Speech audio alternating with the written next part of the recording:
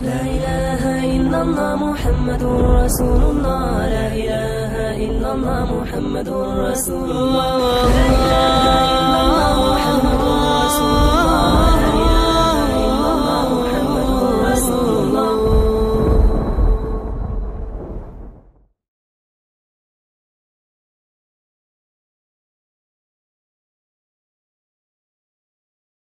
السلام علیکم ورحمۃ اللہ وبرکاتہ الحمد للہ الحمد للہ نحمده ونستعینه ونستغفره ونؤمن به ونتوكل عليه. ونعوذ بالله من شرور أنفسنا ومن سيئات أعمالنا. من يهده الله فلا مضل له ومن يضلله فلا هادي له. ونشهد أن لا إله إلا الله وحده لا شريك له. ونشهد أن سيدنا ونبينا ومولانا محمدا عبده ورسوله صلى الله تعالى عليه وعلى آله وأصحابه وبارك وسلم تسليما كثيرا كثيرا. أما بعد فقال رسول الله صلى الله عليه وآله وسلم تركت فيكم ما إن تمسكتم به لن تضلوا بعدي أبدا. كتاب الله وسنتي.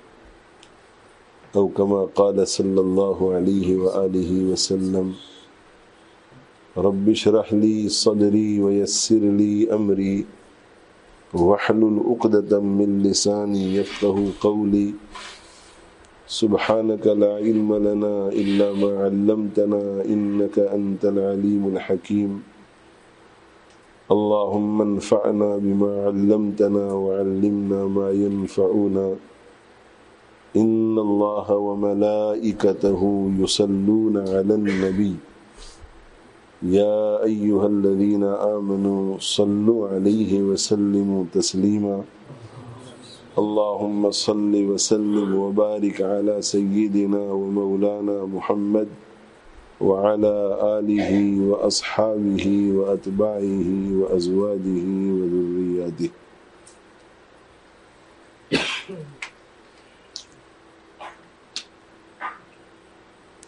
اللہ تعالی شانہ نے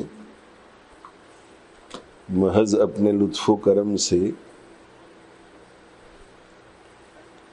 ہمیں جو ان گنت انیومربل،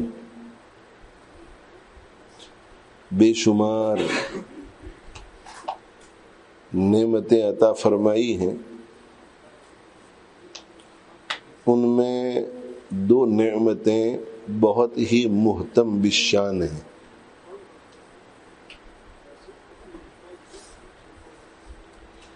ایک ہے کتاب اللہ۔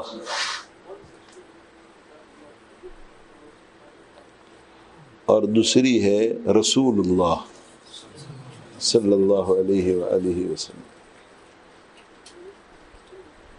اللہ کی کتاب بھی ایک عظیم الشان نعمت ہے۔ اور اللہ کے رسول صلی اللہ علیہ وآلہ وسلم بھی ایک عظیم الشان نعمت ہے۔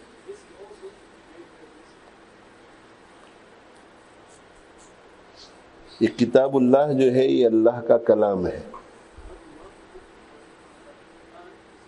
کتاب اللہ اللہ کا کلام ہے۔ اور کسی بھی کلام کی حیثیت طے کرنے کے لیے یہ دیکھا جاتا ہے کہ متکلم کون ہے یہ بات کس نے کہی ہے؟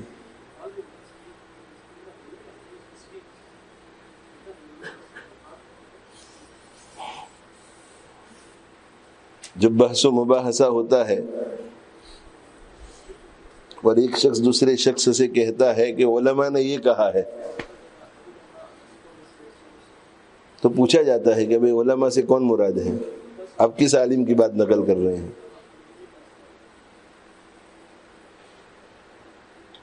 تو کسی بھی بات کی حیثیت بات کو دیکھ کر نہیں ہوتی۔ اس کی حیثیت، اس کا مرتبہ، اس کا مقام متکلم کو دیکھ کر ہوتی ہے کہ کہا کس نے ہے۔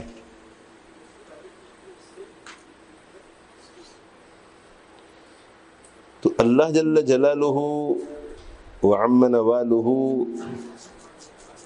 کی اس کی کائنات میں جو حیثیت ہے، اللہ کا جو مقام ہے، اللہ کا جو مرتبہ ہے،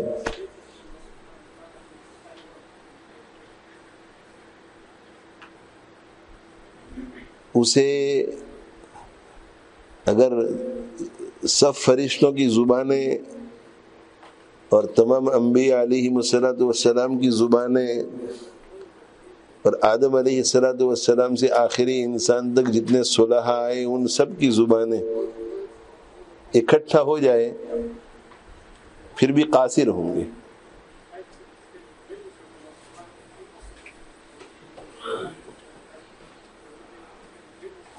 رسول اللہ صلی اللہ علیہ وآلہ وسلم، اللہ کے رسول صلی اللہ علیہ وسلم، جو کہ دوسری نعمت ہے اس کے بارے میں شعرا نے عجیب عجیب باتیں کہی ہیں۔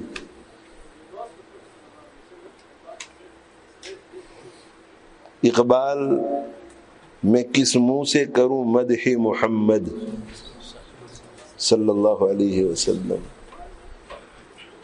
اقبال، میں کس منہ سے کروں مدح محمد؟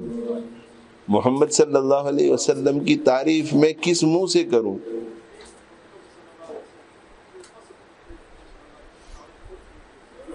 اس لیے کہ ایسی کوئی زبان پیدا ہی نہیں ہوئی ہے جو ہمارے پیارے آقا صلی اللہ علیہ وآلہ وسلم کی کما حق کو مدح سرائی کر سکے، تعریف کر سکے۔ اقبال میں کس منہ سے کروں مدح محمد؟ منہ میرا بہت چھوٹا ہے اور بات بڑی ہے۔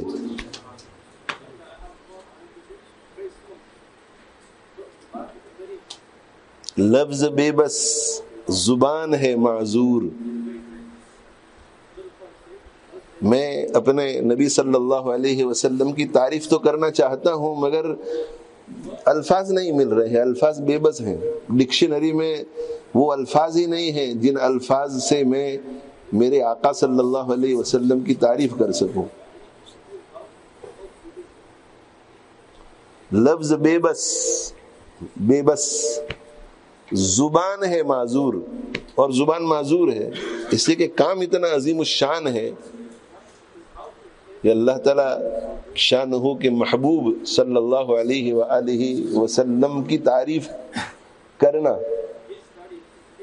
جن کی خود اللہ نے تعریف کی ہو، ان کی تعریف کرنا، یہ آسان کام نہیں ہے۔ لفظ بے بس زبان ہے معذور، مجھ سے ذکر رسول کیا ہوگا۔ صلی اللہ علیہ وسلم۔ مجھ سے ذکر رسول کیا ہوگا؟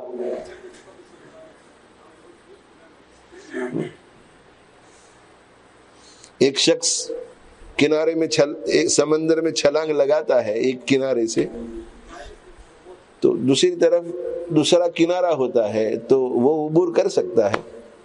اگر اس میں اتنی قوت اور طاقت ہے تو کرتے ہیں بہت لوگ۔ کئی سو میل کو عبور کرتے ہیں ایک کنارے سے دوسرے کنارے کی طرف۔ لیکن اگر ایسا سمندر ہو کہ جس کا دوسری طرف کنارہ ہی نہیں ہے، تو اس سمندر کو عبور کیسے کیا جا سکتا ہے؟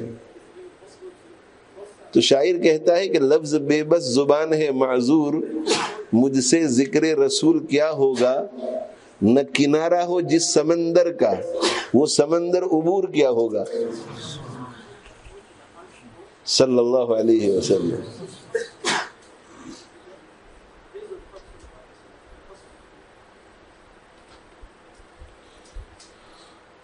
ابھی قریب مدت میں پاکستان میں، لاہور میں ایک بڑے اللہ والے گزرے ہیں، شاہ نفیس الحسینی رحیم اللہ تعالی۔ ہمارے بزرگوں میں سے ایک بہت بڑے بزرگ تھے، حضرت شاہ عبد القادر صاحب رائے پوری رحمت اللہ علیہ۔ بڑے اللہ والے تھے۔ رائے پور میں بھی وقت گزارتے تھے اور تقسیم کے بعد پاکستان میں بھی وقت گزارتے تھے۔ دونوں جگہ ان کو چاہنے والے بہت لوگ تھے۔ تو شاہ نفیس الحسینی رحمہ اللہ تعالی نے ان سے فیض حاصل کیا تھا۔ اور جب ان کا دور آیا تو بہت علماء کا بھی ان کی طرف رجوع ہوا۔ خطات بھی تھے۔ تحریر میں بڑی مہارت تھی ان کی۔ دنیا کے ماہر ترین لوگوں میں سے تھے جو لکھتے تھے۔ شاید مجھے ایسا یاد پڑتا ہے، کسی نے مجھے کہا تھا کہ جب یہ کمپیوٹر کا دور آیا تو یہ ایپل کی جو کمپنی ہے، اس نے جب اردو خط کو انٹروڈیوس کیا تو شاہ نفیس الحسینی رحمہ اللہ تعالی کے خط کو انٹروڈیوس کیا۔ رئیس الخطاتین سمجھے جاتے تھے، بہت اونچے پائے کے کاتب تھے۔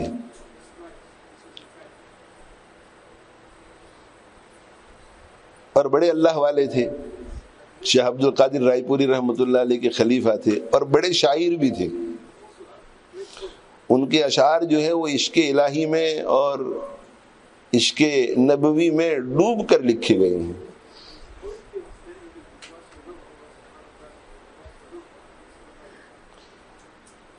تو ان کی ایک نعت بہت مشہور ہے جو آپ میں سے تقریباً ہر شخص نے سنی ہوگی۔ یہ رسول امی خاتم المرسلین، تجھ سا کوئی نہیں، تجھ سا کوئی نہیں۔ یہ عقیدہ ہے اپنا بصد کو یقین۔ صدق اور یقین کے ساتھ یہ عقیدہ ہے۔ یہ عقیدہ ہے اپنا بصد کو یقین۔ تجھ سا کوئی نہیں، تجھ سا کوئی نہیں۔ تو اس میں آگے اسی نعت میں حضرت فرماتے ہیں، مصطفیٰ مجتبا تیری مدہو سنا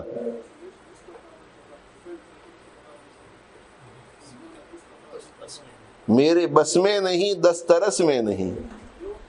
مصطفیٰ مجتبا تیری مدہو سنا میرے بس میں نہیں، دسترس میں نہیں۔ دل کو ہمت نہیں، لب کو یارہ نہیں۔ آپ مصطفیٰ ہیں، آپ مجتبہ ہیں، آپ کی مدہو سنا میرے بس میں نہیں ہے، میری دس ترس میں نہیں ہے۔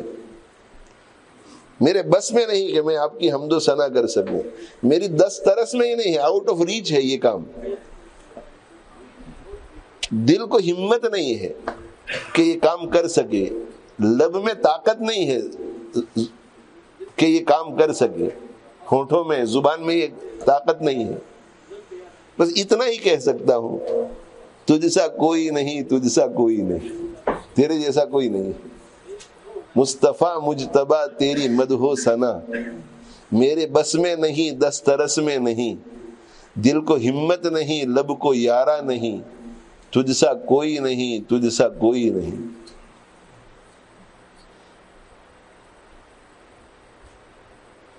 حضرت علی رضی اللہ تعالیٰ عنہ، جنہوں نے ہمارے پیارے آقا صلی اللہ علیہ وسلم کو دیکھا تھا اور بہت قریب سے دیکھا تھا۔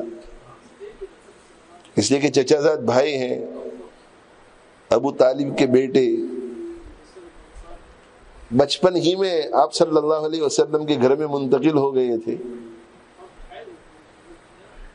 تو بچپن سے دیکھا اور اتنا قریب سے دیکھا اور اور اتنی عقیدت پیدا ہو گئی تھی کہ جب اللہ کے نبی صلی اللہ علیہ وسلم نے ان کے سامنے اسلام پیش کیا تو فوراً انہوں نے اسلام قبول کر لیا۔ ہم بچپن سے پڑھتے چلے آ رہے ہیں کہ بچوں میں سب سے پہلے ایمان لانے والے حضرت علی رضی اللہ عنہ ہیں۔ تو ترمیدی شریف میں ایک ان کی لمبی حدیث ہے۔ اس میں انہوں نے حضرت صلی اللہ علیہ وآلہ وسلم کے خسائل، مناقب، فضائل بیان کیے ہیں۔ تو اخیر میں جا کر وہ یہی کہتے ہیں تجھ سا کوئی نہیں تجھ سا کوئی نہیں۔ کیا فرماتے ہیں حضرت علی رضی اللہ عنہ؟ یقول آپ صلی اللہ علیہ وسلم کے اوصاف حسنہ، اخلاقی حمیدہ کو بیان کرنے والا، یہ کہنے پہ مجبور ہوتا لم ار مثلہ لم ار مثلہ قبلہ ولا بعدہ آگے حضرت کو لے لم ار مثلہ قبلہ ولا بعدہ میں نے آپ صلی اللہ علیہ وسلم جیسی ذات نہ آپ سے پہلے دیکھی نہ آپ کے بعد میں نے دیکھی.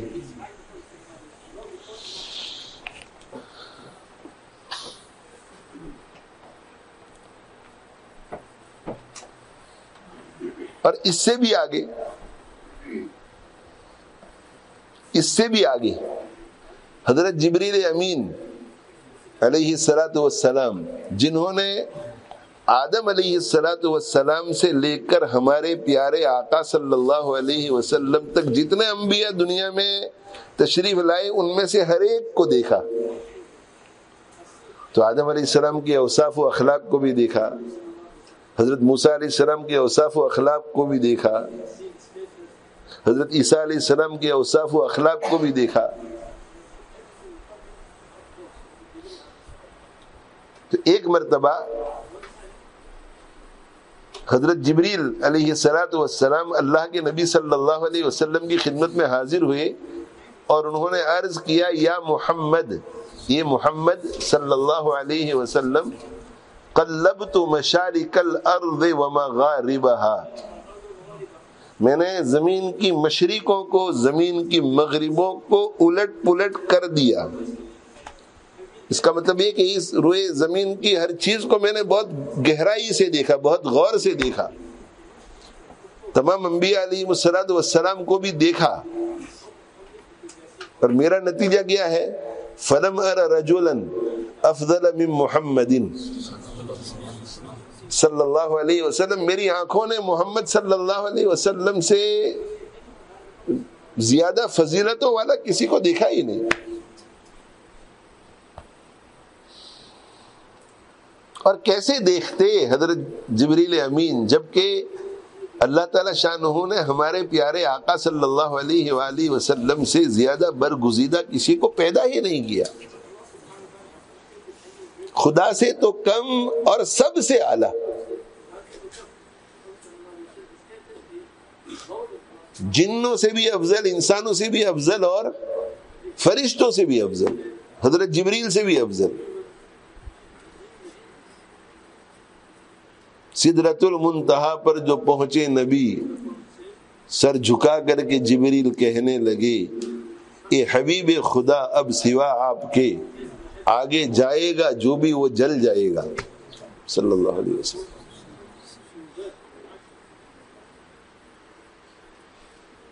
یعنی حضرت جبریل امین جو نوری اور نورانی تھے خلقتن اور جب ان کے ذریعے وہی کو بھیجنے کا اللہ تعالی شاہ نے فیصلہ فرمایا تھا، تو ان کو کتنا قوی بنایا ہوگا، روحانی اعتبار سے بھی۔ مگر وہ سدرت المنتہا پر جا کر کے ادب سے کہنے لگے کہ یہاں سے میں نہیں جا سکتا۔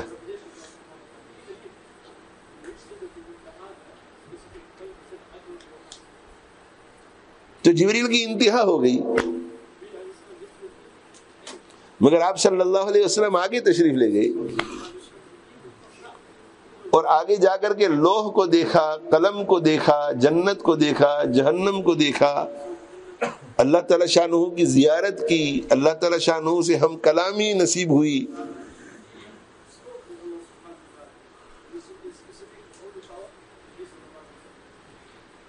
یہ سعادت اب تک کسی کو نہیں ملی۔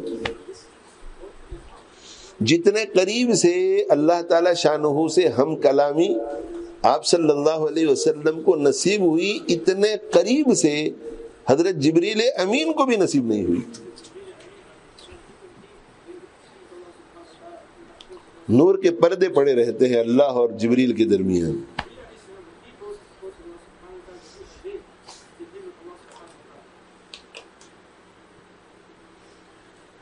تو خدا سے تو کم اور سب سے اعلی۔ خدا سے تو کم، سب سے اعلی۔ اتنے اعلی اتنے اعلی اتنے اعلی کہ خاک پاک قبر اطہر عرش اعظم سے عزیز۔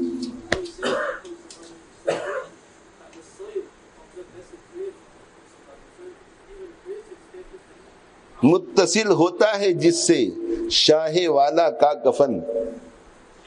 اس کا مطلب یہ ہے کہ اللہ کے نبی صلی اللہ علیہ وسلم کے بدن مبارک سے جو کفن لگا ہوا ہے، اس کفن سے جو مٹی لگ جاتی ہے، وہ مٹی عرش سے بھی زیادہ افضل۔ تو پھر اس کفن کی کیا حیثیت ہوگی اور کفن سے آگے حضرت صلی اللہ علیہ وسلم کی کیا حیثیت ہوگی؟ خدا سے تو کم اور سب سے اعلی، دو عالم سے بالا ہمارے محمد صلی اللہ علیہ وسلم۔ شیخ سعدی رحمہ اللہ تعالیٰ فرماتے ہیں، یا صاحب الجمال و یا سید البشر، من وجہ المنیر لقد نور القمر۔ یا صاحب الجمال، اے حسن و جمال والے۔ و یا سید البشر، اے انسانوں کے سردار۔ من وجہ کل منیر لقد نور القمر۔ آپ کے روشن چہرے سے سورج، چاند کو بھی روشنی ملی ہے۔ چاند کو بھی روشنی جو ملی ہے وہ آپ کے روشن چہرے کے صدقے سے ملی ہے۔ اسد، فیوز در مصطفیٰ کا کیا کہنا؟ مصطفیٰ صلی اللہ علیہ وآلہ وسلم۔ کہ فیوز کا کیا کہنا؟ اسد، فیوز در مصطفیٰ کا کیا کہنا؟ جسے جو بھی سعادت ملی، جتنی ملی، وہیں سے ملی۔ آپ صلی اللہ علیہ وسلم خود ارشاد فرماتے کہ انما انا قاسم واللہ یعطی۔ دیتا اللہ ہے، تقسیم میں کرتا ہوں۔ مجھے قاسم بنایا ہے، میں تقسیم کرتا ہوں۔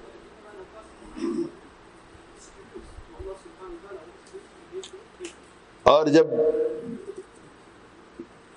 تقسیم کرنے پر آئے اللہ کی دی ہوئی دولتوں کو، تو لوگ کیا سے کیا بن گئے؟ درفشانی نے تیری قطروں کو دریا کر دیا۔ جو قطرے تھے، وہ دریا جیسے ہو گئے۔ حیثیت اتنی بلند ہو گئی درفشانی نے تیری قطروں کو دریا کر دیا۔ دل کو روشن کر دیا، آنکھوں کو بینا کر دیا۔ خود نہ تھے جو راہ پر اوروں کے ہادی بن گئے۔ صرف یہ نہیں کہ آپ صلی اللہ علیہ وسلم کی صحبت کی برکت سے جو گمراہ تھے وہ رستے پہ آ گئے، نہیں، دوسروں کو راہ پر لانے والے بن گئے۔ صرف یہ نہیں کہ جو روحانی اعتبار سے مردے تھے جو کفر میں پڑے ہوئے تھے، شرک میں پڑے ہوئے تھے مردے روحانی اعتبار سے ختم ہو چکے تھے، وہ ایمان کی دولت سے زندہ ہو گئے، نہیں، وہ دوسروں کو زندہ کرنے والے بنے، مسیحا بن گئے، زندہ کرنے والے۔ خود نہ تھے جو راہ پر اوروں کے ہادی بن گئے، کیا نظر تھی جس نے مردوں کو مسیحا کر دیا؟ وہ دانائے سبل ختم الرسول مولائے کل جس نے غبار راہ کو بخشا فروغ وادی سینا۔ وہ دانائے سبل۔ ہاں، اللہ تک پہنچانے والے جتنے راستے ہیں، سب کو جاننے والے۔ ہر باریکی کو جاننے والے۔ اللہ کو خوش کرنے کا طریقہ کیا ہے۔ اللہ ناراض ہو جائے تو دوبارہ راضی کرنے کا طریقہ کیا ہے۔ دین پر چلنے کا طریقہ کیا ہے؟ وہ دانا سبل، وہ راستوں کو جاننے والے۔ ختم الرسول ختم الرسول رسالت کو ختم کرنے والے۔ اب ان کے بعد کوئی نیا نبی نہیں آئے گا۔ وہ دانا سبل، ختم الرسول مولا کل، سب کے آقا اور مولا۔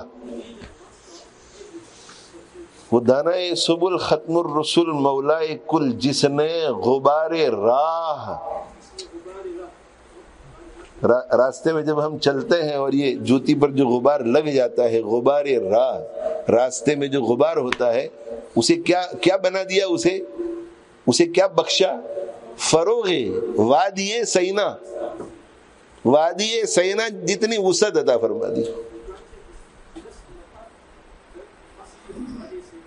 قطروں کو دریا کر دیا۔ وہی بات۔ قطرے دریا ہو گئے۔ اور غبار غبار کیا بن گئے؟ وادی سینا۔ اور ذرے ذرے آفتاب بن گئے۔ ذرے، چھوٹے چھوٹے ذرات جو ہوا میں اڑتے رہتے ہیں، جو بغیر سورج کی شعاؤں کے نظر بھی نہیں آتے۔ تیری فیاضی نے ذروں کو بنایا آفتاب۔ تیری فیاضی نے ذروں کو بنایا آفتاب، بن گئے اونٹوں کے چروا ہے زمانے کے امام۔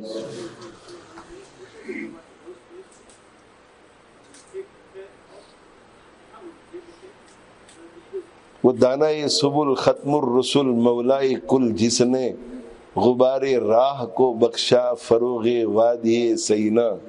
نگاہ عشق و مستی میں میں جب عشق و مستی میں دیکھتا ہوں اپنے پیغمبر صلی اللہ علیہ وسلم کی سیرت طیبہ کو اور آپ کو سمجھنے کی کوشش کرتا ہوں تو مجھے کیا نظر آتا ہے؟ نگاہ عشق و مستی میں، وہی اول، وہی آخر۔ نگاہ عشق و مستی میں، وہی اول، وہی آخر۔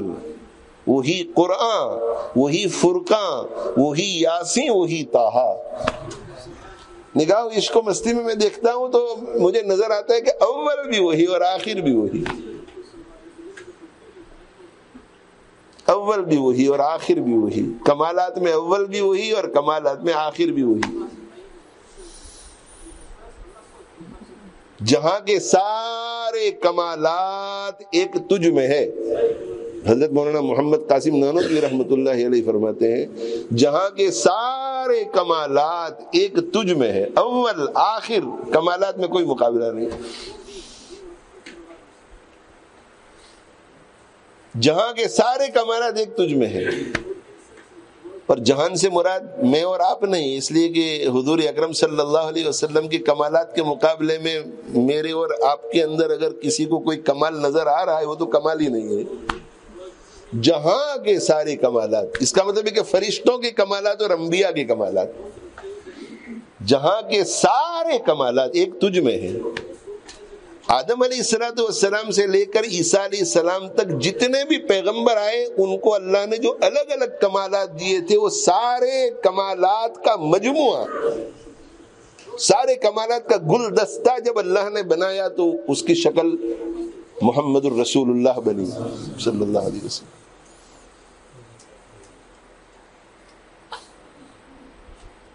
دو چار پھول حضرت آدم علیہ السلام کی زندگی سے، دو چار پھول حضرت عیسیٰ علیہ السلام کی زندگی سے جو اعلیٰ اعلیٰ کمالات تھے، دو چار پھول حضرت داؤد علیہ السلام کی اس کا جب گلدستہ بنایا تو اس کو جب دیکھا تو وہ ہے محمد الرسول اللہ صلی اللہ علیہ وسلم۔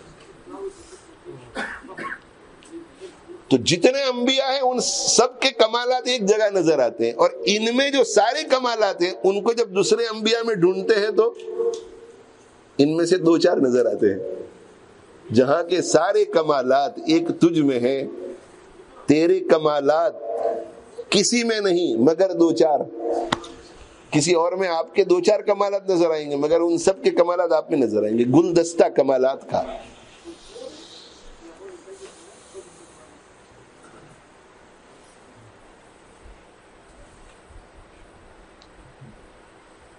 تو آدم علیہ السلاۃ والسلام جب دنیا میں تشریف لائے تو ایک گلدستہ تھا، چھوٹا سا۔ ہمارے اعتبار سے تو وہ بہت بڑا تھا۔ مگر ہمارے پیارے آقا صلی اللہ علیہ وسلم کے مقابلے میں ایک چھوٹا سا گلدستہ بکئی اور دوسرے پیغمبر آئے تو اور ایک، تیسرے پیغمبر آئے تو اور ایک، چار پانچ پھولوں کا، چار پانچ پھولوں کا، چار پانچ پھولوں کا، آٹھ دس پھولوں کا۔ اور یہ جتنے بھی پھول تھے، ان سب کو جب اکٹھا کر لیا گیا وہ گلدستہ ہمارے پیارے آقا صلی اللہ علیہ وسلم سہنے چمن کو اپنی بہاروں پہ ناز تھا۔ باغ ہے باغ۔ اس کے سہن میں ادھر گلدستہ تھا آدم علیہ السلام کا اور ادھر گلدستہ تھا حضرت عیسیٰ علیہ السلام کا، ادھر داؤد علیہ السلام کا، ادھر سلیمان علیہ السلام کا۔ تو سہنے چمن کو بہت ناز تھا کہ دیکھو کیسے کیسے گلدستے ہیں، کیسے کیسے پھول کھل رہے ہیں۔ چمن نبوت میں، گلستان نبوت میں ایک لاکھ چوبیس ہزار انبیاء علیہ السلاۃ والسلام کے پھول جب کھلیں گے تو روحانی دنیا میں وہ کتنا خوبصورت باغ ہوگا۔ تو سہنے چمن ناز کر رہا تھا اپنی اپنی قسمت پر۔ سہنے چمن کو اپنی بہاروں پہ ناز تھا، مگر ابھی ایک آنا باقی تھا۔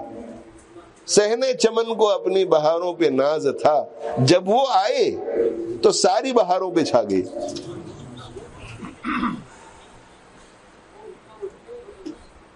یا صاحب الجمال. یا صاحب الجمال. وقت چونکہ مختصر ہے. یا صاحب الجمال و یا سید البشر. من وجہ کل منیر لقد نور القمر. یہ چاند جو چمک رہا ہے، یہ آپ ہی کے فیس سے چمک رہا ہے. سورج بھی آپ کے فیس سے چمک رہا ہے. اور کوئی مقرر اگر تقریر کر رہا ہے، وہ آپ ہی کے فیس سے. کوئی محدث اگر بخاری شریف پڑھاتا ہے تو آپ ہی کے فیض سے۔ کوئی خطیب اگر اپنی خطابت میں جولانی دکھا رہا ہے تو آپ ہی کے فیض سے۔ کوئی زاہد اگر زہد اختیار کیے ہوئے ہے وہ آپ کے فیض سے۔ اور کوئی لمبی لمبی نفلیں پڑھ رہا ہے، رات کو تحجد میں اور ایک ایک رات میں قرآن ختم کر رہا ہے، وہ آپ ہی کے فیض سے۔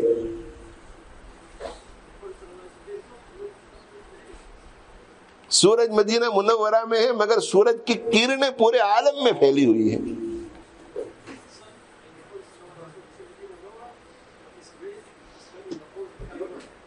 عالم ارواح میں بھی جب اللہ جل جلالہ عام منوالہ نے سوال کیا تھا کہ الستو بربکم؟ تو ساری روحیں مبہوت تھی اللہ پوچھ رہے ہیں، الستو بربکم؟ انبیاء علیہ السلام کی روحیں مبہوت اللہ پوچھ رہے ہیں الس تو رب سب کو پتا تھا کہ ہاں آپ ہی ہمارے رب ہیں۔ مگر آداب شاہی کے بھی کچھ تقاضے ہوتے ہیں بولے تو کیا بولے الس تو رب یہ سوال الس کیا میں تمہارا رب نہیں؟ تو ایسے موقع پر لوگوں کی نظریں جو ہے وہ اپنے قائد کی طرف ٹک جاتی ہے تو تمام امتوں کی نظریں اپنے اپنے نبیوں پہ ٹکی اور تمام انبیاء کی نظریں ٹک گئی سید المرسلین پر کہ وہ کیا کہتے ہیں؟ جب آپ صلی اللہ علیہ وسلم کی زبان مبارک وہ روح سے آواز نکلی، بلا، تو یہ بلا سن کر کے تمام انبیاء گویا ہوئے بلا اور تمام انبیاء کی آواز سن کر کے تمام امتوں نے کہا کہ بلا۔ آپ وہاں بھی قائد تھے، عالم ارواح میں بھی۔ پر عالم ارواح میں بھی آپ سب کے محسن، آپ کا سب پر احسان۔ آدم علیہ السلام والسلام سے لے آخری انسان تک سب بلا کہہ پائے وہ آپ کے فیض سے۔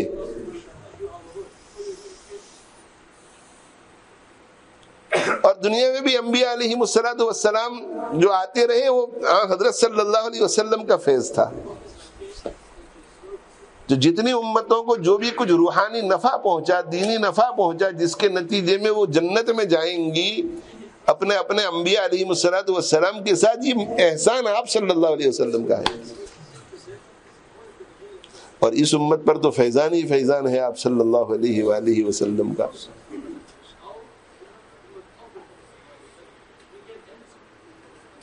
اور آخرت میں آخرت میں بھی آپ صلی اللہ علیہ وسلم کا احسان ہوگا۔ اس لیے کہ میدان محشر میں سب سٹ پڑائے ہوئے ہوں گے۔ کسی کو کچھ سمجھ میں نہیں آ رہا ہوگا اور کسی کو ہمت و جرت نہیں ہو رہی ہوگی کہ اللہ جل جلالہ عام نوالہ کی بارگاہ میں لب کشائی کریں۔ ہاں حضرت صلی اللہ علیہ وسلم کے پاس تمام انبیاء علیہ مسلاۃ وسلام کی امتوں کا وفد پہنچ کر کے عرض کرے گا کہ آپ ہمارے لیے سفارش کیجیے، آپ ہمارے لیے سفارش کیجیے، آپ ہمارے لیے سفارش کیجیے۔ اور آپ صلی اللہ علیہ وسلم سے پہلے وہ اہم اہم تمام انبیاء کے پاس جائیں گے۔ آدم علیہ السلام منع کر دیں گے کہ نہیں، یہ مجھ سے یہ کام نہیں ہو سکے گا، تم فلاں کے پاس جاؤ۔ وہ منع کر دیں گے کہ نہیں، مجھ سے یہ کام نہیں ہو سکے، تم فلاں کے پاس جاؤ۔ یہ کام مجھ سے نہیں ہو سکے گا، فلاں کے پاس جاؤ۔ مجھ سے نہیں ہو سکے گا، فلاں کے پاس جاؤ۔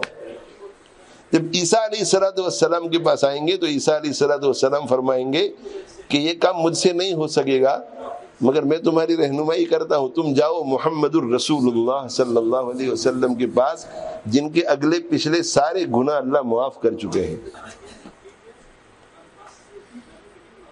یعنی اگر بالفرض و تقدیر آپ کی زندگی میں کوئی غلطی ہو بھی جاتی تو وہ معاف ہے۔ یہ, یہ, یہ جو اب تک زندگی گزری ہے اس میں بھی اور بعد میں بھی۔ یہ سلح حدیبیہ کے موقع پر ہی آئے تو سن چھ ہجری میں۔ اس کے بعد چار سال اور آپ زندہ رہے۔ تو اب تک اگر کوئی خطا ہو گئی ہے وہ بھی معاف اور آگے اگر ہوگی تو بھی معاف۔ تو عیسیٰ علیہ السلام بطور خاص آپ صلی اللہ علیہ وسلم کی جتنے اوصاف ہیں ان میں سے اس وصف کو بیان کریں گے۔ کیوں؟ اس لیے بیان کریں گے کہ ایسے موقع پر جب اللہ تعالی شان ہو عرش پر شان جلال کے ساتھ جلوہ افروز ہیں اور حساب اللہ تو کسی جگہ بیٹھے ہوئے نہیں ہوتے، مگر عرش جو ہے ایک علامت ہے۔ تو اس وقت جو ہے، اس وقت جرت اور ہمت وہ کر سکتا ہے جسے یقین ہو کہ میری اگر کوئی چھوٹی بڑی غلطی بھی ہوئی ہوگی تو وہ معاف ہو چکی ہے۔ باقی ہر ایک کو ڈر لگتا ہے کہ کہیں کوئی غلطی نہ نکل آوے۔ کہ ان کے بارے میں تو کہہ چکے اگر کوئی غلطی ہے تو بھی معاف ہے، یہ ہمت کر سکیں گے۔ تو آپ فرمائیں گے کہ ان اللہ ان اللہ میں یہ کام کروں گا، میں یہ کام کروں گا، میں یہ کام کروں گا۔ اور آپ سفارش فرمائیں گے۔ سفارش فرمائیں گے۔ اللہ تعالیٰ شان ہوئے ایک لمبی مدت کے بعد آپ صلی اللہ علیہ وسلم خود فرماتے ہیں کہ اس وقت سجدے میں میں اللہ کی حمد و ثنا ایسے الفاظ سے کروں گا کہ اس وقت مجھے معلوم نہیں، اللہ مجھے خود اس وقت سکھائیں گے۔ بہت اعلیٰ الفاظ ہوں گے وہ۔ اور ایک لمبی مدت تک آپ سجدے میں پڑے رہیں گے۔ کس کے لیے بھائی؟ اپنی امت کے لیے؟ نہ، اپنی امت کی سفارش کی باری بعد میں آئے گی۔ یہ سب کی سفارش کے لیے کہ اللہ حساب شروع کر دو۔ جسے شفاعت کبرا کہتے حساب شروع کر دو۔ سب کے لیے، صرف اپنی امت کے لیے نہیں۔ تو اللہ تعالیٰ شاہ کو یہ رشاد فرمائیں گے، یا محمد، اے محمد صلی اللہ علیہ وسلم عرفا راسک اپنے سر مبارک کو اٹھائیے۔ سل توتا مانگیے۔ مانگنا آپ کا کام ہے، جھولی بھرنا ہمارا کام ہے۔ وشفا تو شفا، سفارش کیجیے۔ جو بھی آپ جو بھی آپ مانگیں گے وہ دیا جائے گا، سفارش آپ کی قبول کی جائے گی۔ تو حق تعالیٰ شان وہ کہیں گے کہ میں سب کی سفارش کرتا ہوں، آدم علیہ السلاۃ والسلام کی امت سے لے کر آخری امت تک آپ ان کا حساب شروع کر دیجیے سب پر احسان وہاں بھی ہوگا کہ نہیں؟ احسان تلے ہم سب دبے ہوئے۔ خیر، میں یہاں ایک سوال قائم کیا ہے محدثین نے۔ اس کا جواب مزے کا ہے، اس لیے وہ میں چاہتا ہوں کہ اس کے مزے سے آپ محروم نہ رہیں۔ سوال یہ قائم کیا ہے کہ اللہ تعالی شاہ کو تو یہ معلوم ہی تھا کہ سفارش آمینہ کے لال جناب محمد الرسول اللہ صلی اللہ علیہ وسلم کے علاوہ دوسرا کوئی کر نہیں سکے گا تو جب یہ مختلف امتوں کے مختلف لوگ ایک وفد کی شکل میں آپس میں مشورہ کریں گے کہ حساب شروع نہیں ہو رہا ہے، اب کسی کو سفارش کے لیے کہنا چاہیے، تو ان کے دلوں میں یہ بات آئے گی کہ آدم علیہ السلام کے پاس جاتے ہیں۔ یہ خیال کون ڈالے گا ان کے دلوں میں؟ اللہ ڈالے گا۔ پھر جب یہ اللہ تعالیٰ شاہ کے پاس جائیں گے، آدم علیہ السلاۃ والسلام کے پاس جائیں گے، تو آدم علیہ السلاۃ والسلام آگے دوسرے نبی کی طرف بھیجیں گے، یہ خیال کون ڈالے گا؟ اللہ ڈالے گا۔ سوال یہ قائم کیا ہے کہ اللہ کو پہلے سے معلوم ہے کہ یہ کام کوئی نہیں کر سکے گا۔ یہ میرا پیارا ہی کر سکے گا۔ صلی اللہ علیہ وسلم۔ تو شروع ہی میں اس وفد کے دل میں یہ خیال کیوں نہیں ڈالا؟ دوسرے انبیاء کے دلوں میں یہ خیال کیوں ڈالا؟ یہ گھومتے گھومتے گھومتے عیسیٰ علیہ السلام تک پہنچائے، پھر عیسیٰ علیہ السلام نے کہا کہ وہاں جاؤ۔ تو میرے بخاری شریف کے استاد محترم ساکن بقی حضرت اقدس مولانا اسلام الحق صاحب رحمۃ اللہ نے یہ سوال قائم کر کے اس کا جواب یہ دیا کہ اگر یہ وفد سیدھا سید المرسلین صلی اللہ علیہ وسلم کے پاس چلا جاتا تو یہودیوں کے ذہن میں یہ بات آ سکتی تھی کہ اگر یہ وفد موسا کے پاس جاتا تو موسا بھی یہ کام کر لیتے۔ نصارہ کے دل میں یہ خیال آ سکتا تھا کہ اگر یہ وفد عیسیٰ علیہ السلام کے پاس جاتا تو عیسیٰ علیہ السلام بھی یہ کام کر سکتے تھے۔ داؤد علیہ السلام کے ماننے والوں کے ذہن میں داؤد علیہ السلام کے بارے میں یہی خیال آ سکتا تھا۔ اس لیے اللہ تعالی شاہ جتنے میجر اور سینئر رسول ہیں، ان کے پاس چکر لگوائیں گے ان کا اور ہر ایک سے یہ کہلوائیں گے کہ میں نفسی نفسی، میں یہ کام نہیں کر سکتا۔ تاکہ آمینہ کے لال کا ڈنگ کا قیامت کے دن بجے کہ میرے محبوب محمد الرسول اللہ صلی اللہ علیہ وسلم آج وہ کام کر رہے ہیں جو کائنات میں کوئی نہیں کر سکتا۔ خیر ذکر رسول میں وقت گزر گیا۔ میں جو عرض کر رہا تھا وہ یہ کہ رسول اللہ صلی اللہ علیہ وسلم کے بارے میں جب لوگ یہ کہتے ہیں کہ ہماری زبانیں گونگی ہیں یا صاحب الجمال، اے حسن و جمال والے، و یا سید البشر، اے انسانوں کے سردار، من وجہ کل منیر لقد نور القمر۔ آپ کے روشن چہرے سے چاند کو منور کیا گیا ہے۔ لا يمكن الثناء كما كان حقه۔ جیسا آپ کا حق ہے، ویسی ثنا، ویسی تعریف، ویسی مدح ممکن ہی نہیں ہے۔ بس میں اتنا کہوں گا بعدز خدا بزرگ توئی، قصہ مختصر۔ شارٹ میں یہ کہ اللہ کے بعد تو ہی بزرگ ترین ہے۔ تیرے علاوہ دوسرا کوئی بزرگ ترین نہیں۔ تو جب اللہ کے نبی صلی اللہ علیہ وآلہ وسلم کے مقام اور مرتبے کے بارے میں زبانیں گونگی ہو جاتی ہے تو اللہ کا مرتبہ کون بیان کر سکتا ہے؟ اللہ کا مرتبہ کون بیان کر سکتا ہے؟ اللہ اللہ کے مرتبے کو بیان کرنے سے تو انبیاء کی زبانیں عاجز ہیں۔ اور انبیاء کی سید المرسلین کی زبان عاجز ہو جاتی ہے۔ آپ خود فرماتے ہیں کہ لا احسی ثناء علیک، انت کما سنیت علی نفسک۔ آپ کی جیسے تعریف کرنی چاہیے، میں نہیں کر سکتا۔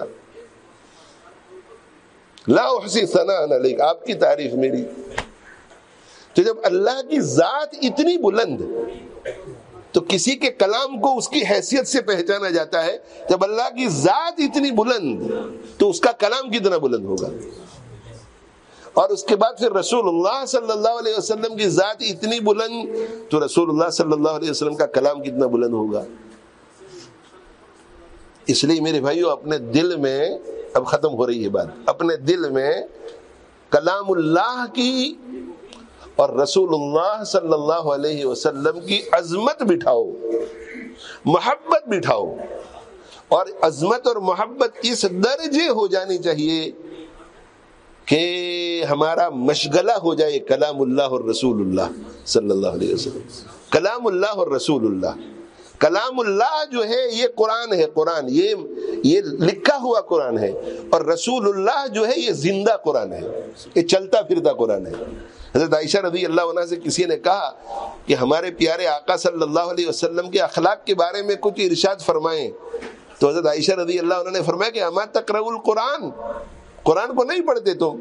کانا خلق ہو القرآن۔ جس کا میں اپنے الفاظ میں ترجمہ کر رہا ہوں کہ قرآن کو الحمد کے ساتھ وناس تک پڑھو۔ الحمد سے لے کر وناس تک پڑھو۔ اور میرے مدنی آقا صلی اللہ علیہ وسلم کی زندگی کو دیکھو۔ آپ کو جو کچھ قرآن میں لکھا ہوا نظر آئے گا وہ میرے مدنی آقا کی زندگی میں نظر آئے گا۔ اللہ تعالی ہمیں کلام اللہ کی بہت اعلیٰ درجے کی محبت پیدا نصیب فرمائے۔ رسول اللہ صلی اللہ علیہ وسلم کی اعلیٰ درجے کی محبت نصیب کرے۔ بس مشغلہ بناؤ اسے۔ مشغلہ۔ کلام اللہ اور رسول اللہ کو صلی اللہ علیہ وسلم۔ سیرت طیبہ پڑھو رسول اللہ صلی اللہ علیہ وسلم کی۔ سیرت طیبہ پڑھو۔ دل دماغ میں سیرت طیبہ کا گزر ہوتا رہے۔ اور اتنا تعلق پیدا کرو رسول اللہ صلی اللہ علیہ وسلم کی تعلیمات سے۔ یہ یہ قرآن الحمد رب العالمین الرحمن الرحیم مالک یوم الدین۔ اس کی تفسیر ہے رسول اللہ۔ کلام اللہ کی تفسیر ہے رسول اللہ۔ کلام اللہ کو بھی دل میں اتارو، رسول اللہ کو بھی دل میں اتارو صلی اللہ علیہ وسلم۔ کلام اللہ کو بھی سمجھو، رسول اللہ صلی اللہ علیہ وسلم کو بھی سمجھو۔ اور کلام اللہ پر بھی عمل کرو، رسول اللہ صلی اللہ علیہ وسلم کی تعلیمات پر بھی عمل کرو۔ اگر میرے بھائیوں ہم نے یہ کام کر لیا، کلام اللہ کو بھی دل میں اتار لیا، رسول اللہ صلی اللہ علیہ وسلم کو بھی دل میں اتار لیا، اور زندگی اس کے مطابق ہم نے گزارنی شروع کر دی، کلام اللہ اور رسول اللہ صلی اللہ علیہ وسلم کے مطابق۔ تو دنیا کی کوئی طاقت کوئی طاقت مجھے اور آپ کو نقصان نہیں پہنچا سکتی۔ کوئی طاقت۔ اگر دنیا میں مسلمانوں کو، مسلم ممالک کو کوئی نقصان پہنچانے میں کامیاب ہوتا ہے، وہ اس لیے کامیاب ہوتا ہے کہ کلام اللہ اور رسول اللہ کی ڈھال ہم چھوڑ دیتے ہیں۔ صلی اللہ علیہ وسلم۔ کلام اللہ کا ہتھیار ہتھیار ایک ہاتھ میں لے لو اور رسول اللہ صلی اللہ علیہ وسلم کی ڈھال دوسرے ہاتھ میں لے لو۔ ادنا ادنا ادنا امتی کو، طاقتور سے طاقتور فرعون۔ جسے اللہ نے ہر قسم کے اسباب دیے ہوئے ہو، ادنا نقصان نہیں پہنچا سکتا۔ ہم حل ڈھونڈ رہے ہیں، حل۔ مگر جو حل ہے، آسان ہے، اس کی طرف ہم نہیں آتی ہم یہ کر لیں کلام اللہ سے وابستہ ہو جائیں، رسول اللہ صلی اللہ علیہ وسلم سے وابستہ ہو جائیں۔ آگے یہ ہمارا کام ہے، اس کے بعد اللہ کا کام ہے آگے۔ یہ ہمارا کام ہے۔ ایک دور ہمارا یہ تھا، میرے بھائیوں لگاتا تھا تو جب نارا تو خیبر توڑ دیتا تھا، حکم دیتا تھا، سمندر کو تو رستہ چھوڑ دیتا تھا۔ ایک دور ہمارا یہ تھا۔ لگاتا تھا تو جب نارا اللہ اکبر کی صدا سے خیبر دروازہ ٹوٹ جاتا تھا۔ لگاتا تھا تو جب نارا تو خیبر توڑ دیتا تھا اور سمندر کو حکم دیتا تھا تو سمندر کی سطح پر، سمندر کی سطح پر گھوڑے چلتے تھے۔ تاریخ نے ایسے مناظر دیکھے ہیں۔ اس آسمان کی آنکھوں نے ایسے مناظر دیکھے ہیں کہ لگاتا تھا تو جب نارا تو خیبر توڑ دیتا تھا، حکم دیتا تھا، سمندر کو تو رستہ چھوڑ دیتا تھا۔ دشت تو دشت، دریا بھی نہ چھوڑے ہم نے۔ علامہ اقبال فرماتے ہیں، دشت تو دشت یہ زمین دشت، زمین صحرا کو کہتے ہیں۔ صحرا اور زمین پر تو ہم نے اپنے گھوڑے چلائے ہی ہیں۔ دشت تو دشت، دریا بھی نہ چھوڑے ہم نے۔ بحر ظلمات میں دوڑا دیے گھوڑے ہم نے۔ بحر ظلمات سے مراد سمندروں کے اندر ہم نے اپنے گھوڑے دوڑا دیے۔ ایک زمانہ ہمارا وہ تھا۔ اور اب ہمارا زمانہ کیا ہے؟ وہ کیوں وہ زمانہ تھا؟ اس سے کہ کتاب اللہ اور رسول اللہ صلی اللہ علیہ وسلم کے ساتھ وابستگی تھی۔ اور اب ہمارا دور کیا آ گیا؟ ہمارا دور ہر جگہ زلیل ہر جگہ زلیل ہر جگہ زلیل مسلم ممالک کو دیکھو، ذلت کے ڈگر پر، جتنے بھی مسلم ممالک ہیں، ذلت کے ڈگر پر۔ انٹرنیشنل پلیٹ فارم پر اسلامی ممالک میں سے کسی ملک کی کوئی حیثیت نہیں ہے۔ کوئی عزت نہیں ہے۔ ان ان کو، ان کے چہرے کو دیکھ کر، ان کی آنکھوں میں آنکھ ڈال کر کسی کو ایسا خیال نہیں آتا کہ اگر ہم اسلام یا مسلمانوں کے خلاف کچھ بولیں گے تو یہ یہ ملک جو ہے، یہ ناراض ہو جائے گا. بالکل نہیں ایسا. ایک ملک ایسا نہیں ہے. ایک سربراہ ایسا نہیں ہے اسلامی ممالک کا. اور جتنے ممالک اسلامیہ ہے وہاں کے سربراہان اپنے ملکوں کو چلاتے ہیں اپنی ترتیب سے چلاتے ہیں، دنیا کی ترتیب سے چلاتے ہیں۔ کسی ملک کے، کسی سربراہ کے دل میں یہ خیال نہیں آتا کہ مجھے اپنے آپ کو اور اپنے ملک کے باشندوں کو کلام اللہ اور رسول اللہ سے جڑنا چاہیے۔ نہیں، وہی وہ دنیاوی نظام پہ چل رہے ہیں اور اسی میں اپنی کامیابی دیکھتے ہیں۔ اس لیے ہمارا حالت کیا ہو گیا؟ ملکی سطح پر، انفرادی سطح پر۔ کیا حال ہو گیا ہمارا؟ مسلمانوں میں خون باقی نہیں ہے۔ مسلمانوں میں خون باقی نہیں ہے۔ وہ جوان مردی وہ طاقت، وہ شجاعت، وہ بہادری کہاں ہے آج؟ مسلمانوں میں خون باقی نہیں ہے۔ محبت کا جنو باقی نہیں ہے۔ سفے کج سفے ہماری ٹکڑی ہو گئی۔ ایک ادھر تو ایک ادھر۔ سفے کج، پچاس مسلمان بھی کسی بات پر اتفاق نہیں کر پاتے۔ پانچ آدمی میٹنگ میں بیٹھتے ہیں تو لڑ کر اٹھتے ہیں۔ جب یہ حالت ہو جائے گی ہماری تو پھر دل ہمیشہ پریشان رہے گا۔ مسلمانوں میں خوں باقی نہیں ہے۔ محبت کا جنو باقی نہیں ہے۔ محبت کا کیسا جنو تھا؟ ایک صحابی رضی اللہ عنہ فرماتے ہیں کہ میرا چچا زاد بھائی زخمی ہو کر کے گرا پڑا مجھے ملا۔ میں اسے، اس نے کہا کہ پانی پانی۔ جان کنی کے عالم میں پیاس بہت لگتی ہے۔ کہا، میں پانی پلانے ابھی گیا اور اس کے ہوٹھوں کے ساتھ مشکیزہ رکھا ہی تھا کہ اس کے پڑوس میں دوسری لاش گری۔ اور وہ بھی زخمی تھا اور وہ بھی جان کنی کے عالم میں اس نے کہا، پانی پانی۔ تو کہا کہ یہ میرا چچا زد بھائی جو مر رہا تھا، پانی سے پیاسا تڑپ رہا تھا، اس نے آنکھوں سے اشارہ کیا کہ اسے پلاؤ۔ یہ ہے محبت کا جنو کا دوسرے کے پاس گیا تو ابھی اسے، اس کے منہ کے ساتھ مشکیزت لگایا یہ تھا کہ تیسرا گرا۔ اس کے ساتھ بھی وہی ہوا، چوتھا گرا اس کے ساتھ بھی ایسا ہی ہوا، پانچواں، چھٹا، ساتواں۔ جب میں ساتویں کے پاس پہنچا، ساتویں کے پاس اس کے ہونٹوں تک میں نے مشکیزہ پہنچایا، اس کی روح نکل گئی، پانی پینے سے پہلے ہی۔ تو کہا کہ میں اس کے پڑوس والے کے پاس آیا۔ اس کی بھی روح نکل چکی تھی۔ اس کے پڑوس والے کے پاس آیا۔ اس کی بھی روح نکل چکی تھی۔ ساتھ کے ساتھ کے دلوں میں اپنے مسلمان بھائیوں کے لیے محبت کا ایسا جنو تھا کہ خود پیاسا تڑپتا ہوا دنیا سے چلا گیا، لیکن اپنے بھائی سے پہلے پانی پینے کو گوارا نہیں کیا۔ کہاں ہے یہ محبت کا جنو آج؟ یہ محبت کا جنو اس لیے نہیں ہے کہ کتاب اللہ اور رسول اللہ سے ہماری وابستگی نہیں، ہمارا تعلق نہیں۔ برائے نام ہے صرف۔ مسلمانوں میں خون نہیں خون باقی نہیں ہے، محبت کا جنو باقی نہیں ہے۔ جب ہمت نہیں ہوگی، بہادری نہیں ہوگی، محبت کا جنو نہیں ہوگا، تو سفید کج ایک ادھر اور ایک ادھر۔ ایک ادھر ایک ادھر ایک ادھر ایک ادھر۔ ملک تباہ ہو برباد ہو جائے، کوئی حرج نہیں۔ لیکن پولیٹیکل پارٹیز آپس میں لڑنے سے فارغ نہیں ہوتی۔ ایک ادھر ایک ادھر۔ سفید کج۔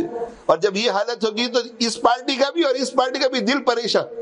ہر ایک کا دل پریشان، ہر ایک ہر ایک پریشان۔ محبت کا جنو باقی نہیں ہے۔ مسلمانوں میں خوں باقی نہیں ہے، محبت کا جنو باقی نہیں ہے۔ سفید کج۔ دل پریشان، سجدہ بے ذوق۔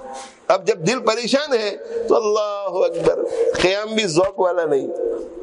اللہ اکبر، رکو بھی ذوق والا نہیں۔ وہ وہی جو پریشانیاں ہیں، وہی پریشانیاں ایک دوسرے سے نفرت، ایک دوسرے کی پڑتی دیکھنے کا جذبہ اندر سے۔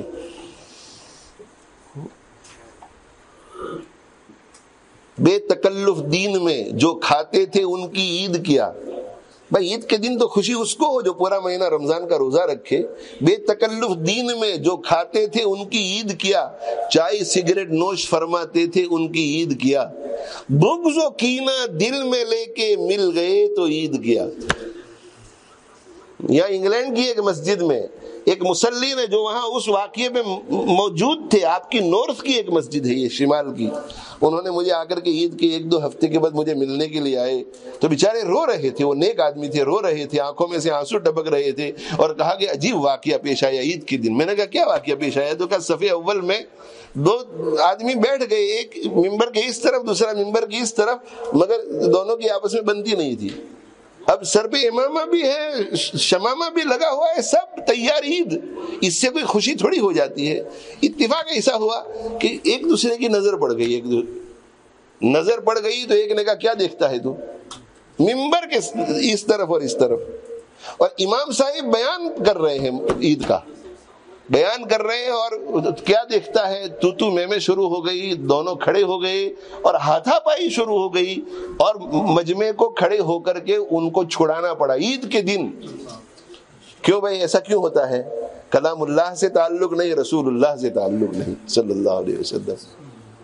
بے تکلف دین میں جو کھاتے تھے، ان کی عید کیا، چائے، سگریٹ نوش فرماتے تھے، ان کی عید کیا۔ بغض و کینا دل میں لے کے مل گئے تو عید کیا۔ عید کے دن بھی دل سے، عید کے دن بھی دل سے نہ دل ملے تو عید کیا۔ ہمارا عید کے دن بھی دل نہیں ملتا۔ ہاں، عید کے دن بھی دل نہیں ملتا۔ تو مسلمانوں میں خون باقی نہیں ہے، محبت کا جنو باقی نہیں ہے سفید کچ دل پریشان سجدہ بے ذوق کہ جذبے اندروں باقی نہیں ہے یہ اندر کا جو جذب ہوتا ہے نا، جذب، اندر کی مایا، اندر کی متا، وہ ہم کھو چکے ہیں۔ اور اندر کی مایا اور متا کیسے آتی ہے؟ کتاب اللہ اور سنت اور رسول اللہ سے تعلق جوڑنے سے۔ تو بس کلام اللہ اور رسول اللہ صلی اللہ علیہ وسلم سے تعلق جوڑیں۔ عشاء کی نماز چونکہ دس بجے ہے، وقت اوپر چلا گیا ہے۔ اس لیے اب میں بات یہیں پر ختم کرتا ہوں۔ پہلی دفعہ یہاں آنا ہوا، مسجد چھوٹی ہے، مگر دل بہت لگا۔ اور بہت ہی انشراح کے ساتھ گفتگو ہوئی۔ چونکہ علماء بھی بہت اچھی تعداد میں ہے نیک، صالح علماء بھی ہیں۔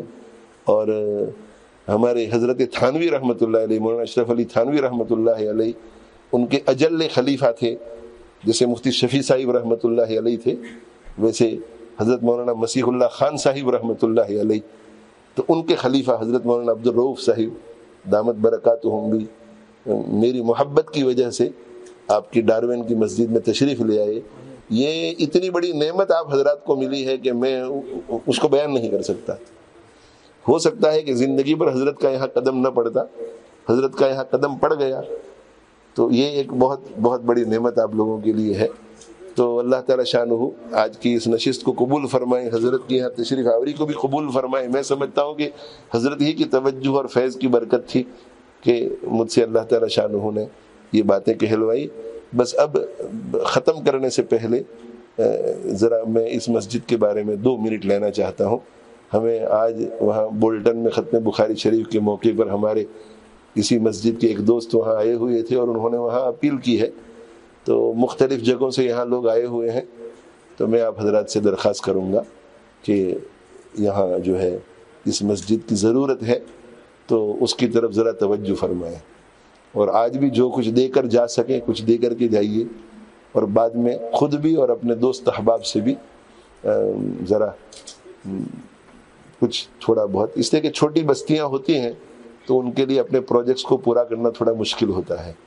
تو آپ سب حضرات کو میری طرف سے اپیل ہے کہ آپ اس مسجد کے پروجیکٹ میں جسے ابھی اس وقت فوری طور پہ تیس ہزار پاؤنڈ کی ضرورت ہے، تو اس کے، آپ حضرات جانتے ہیں کہ میں بیانوں میں چندے کی اپیل نہیں کرتا، نہ مجھے یہاں کسی نے کہا ہے۔ میں اپنی طرف سے کہہ رہا ہوں، میرا دل یہ کر رہا تھا کہ میں عرض کروں۔ تو سب حضرات جو ہیں اس میں تعاون کرے ابھی بھی تعاون کرے اور واپس گھر جا کر کے بھی اگر کچھ کر سکتے ہیں، تو ان حضرات کا تعاون کریں انشاءاللہ ان حضرات کو مدد ملے گی۔ اللہ تعالیٰ شان ہو مجھے آپ کو عمل کی توفیق عطا فرمائے۔ وآخر دعوانا ان الحمد للہ رب العالمین۔ وصلی اللہ علی نبینا محمد وعلى آلہ واصحابہ اجمعین۔